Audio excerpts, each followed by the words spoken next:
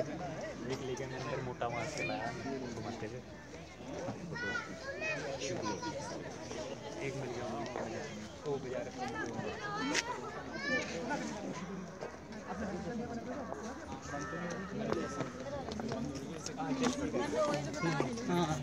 Sir, कहाँ आया बोला कि मैं बाज़ार में हूँ। मैंने कहा, रुको, सर, मैं